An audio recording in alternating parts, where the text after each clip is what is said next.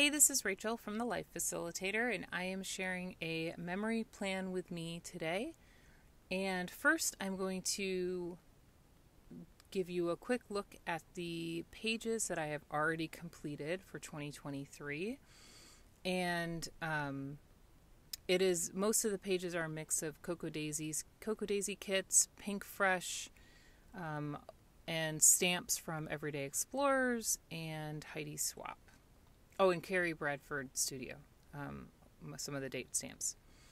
Um, I have blanks. I have pay, I have weeks that are not done. Um, but I, as you can see, I have started to put a little bit on the page um, for almost every week um, up till March. And I am doing this for two reasons. One, sometimes I don't have enough time to complete a whole spread but I, I want to get in and do something with my memory planner. Those monthly pages are from City Girl Planners. And so as you can see, I had I have a couple of I have a little bit decorated. And the idea here is that um, by just having something on the page, I'm a little bit more motivated to keep going as opposed to looking at a blank page. And sometimes I have more creative energy than other times, but sometimes I just want to slap stickers or just put a little bit on the page, and that's a perfect time to prep um, memory planner spreads. So whether it's dating the memory planner or you know adding something to the sidebar, I often end up covering up the sidebar, and so um, prepping memory planner pages ahead of time helps you sort of like chip away at it, especially if you know you only have pockets of time available to work. Now, with this week, I am actually working on this memory planner spread as the week is happening. Um, so I believe it was Thursday, mm, Wednesday when I filmed this um, prep with me video. And so I had already I already knew a few things that had happened. So like I had a sick day on Monday and I didn't take any photos on Monday. I already knew that. So I had more room to add decorative elements like stamps. Um, Tuesday, I think I had one photo from the day that I knew about, and so I was going to leave room for that, but that was it.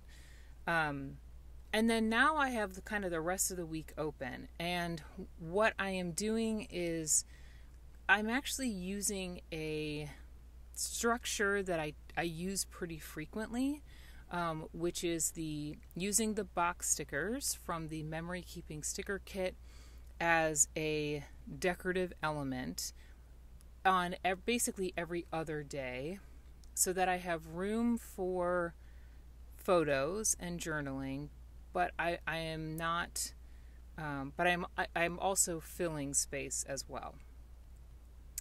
In this spread, I'm also using um, generic elements for my decoration um, in order to embellish the page, but not be not have it as themed, if if that makes sense.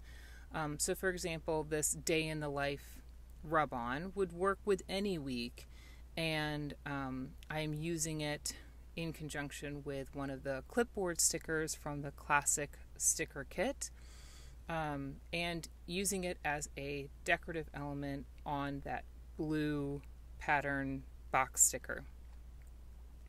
So when you are prepping a memory planner spread ahead of time, consider pulling kind of generic elements that would work kind of on in every week. And then here's the other wonderful little tool if you are prepping your memory planner spread ahead of time.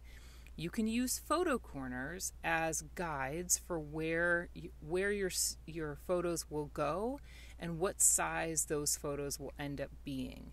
Um, so I basically have two sizes of photos that I use. I use like roughly a two by three size photo, and then a square two by two photo Sometimes I use like one and a half by two and a quarter, but I'm usually either a, it's either either a two by three or it's a square two by two photo. And I already know that about myself. Um, and so it's easy for me to create photo almost like a template for where the photos are going to go because um, I know I know how I pl- I print my photos. And so when I go to make my photo collages, I now I, I can look at this page and say, okay, my Wednesday photo needs to be a 2 by 3 my Friday photo needs to be a square photo, etc. Um, it helps me actually streamline my photo printing process.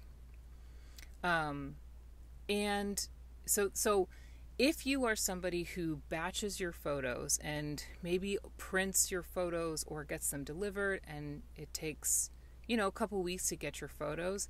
This is another great way to make sure that you are sort of keeping up with your memory planner, even if you don't have all of the supplies available to you, including your photos.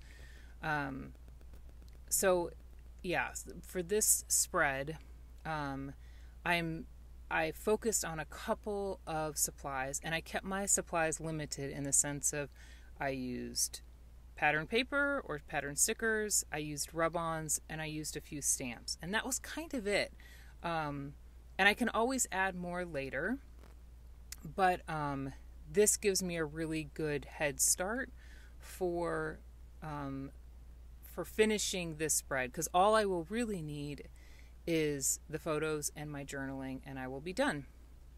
So if you are somebody who um, really wants to work in your memory planner, but you the roadblock is not having the photos, um, don't worry. You can you can definitely work in your memory planner without photos, and you don't have to have photos in your memory planner at all. Um, it is more than okay to have a memory planner that doesn't have photos, or the photos are added on um, inserts or something. So um, I hope this video encourages you to um, consider prepping a memory planner spread ahead of time. Um, and maybe it'll help you feel get some like early success in your memory planner for 2023. Before I wrap this up, I am also going to say that one of my favorite elements of the Cocoa Daisy Traveler's Notebook Memory Keeping Kit is the Simple Dory, and I use it specifically as a paper pad for my memory planner. So I am constantly ripping pages out of there to use as interactive elements, as background, um, all sorts of things. So um, I, the Traveler's Notebook Memory Keeping Kit does is really a wonderful kit for um, for memory planning. I found this little quote card and I decided I'm actually going to just, as a placeholder, put it in with the photo, photo corners, and I love it. It's great. Um, adding one more die cut to this interactive element. And um, yeah, so if you prep your memory planner pages ahead of time, I'd love to hear about it. I'd love to know um, I'd also love to know what your memory planner hiccups or roadblocks are, and maybe I can address them in a future video. Oh, gotta gotta add a little washi. When all else fails, you know, washi to the to the rescue. Um, so I'm going to add just a little bit of washi to add a little bit of color to the page. Um, and then I will actually be done with this spread. So, if you enjoyed this video, give it a thumbs up, and I hope to see you in my next one.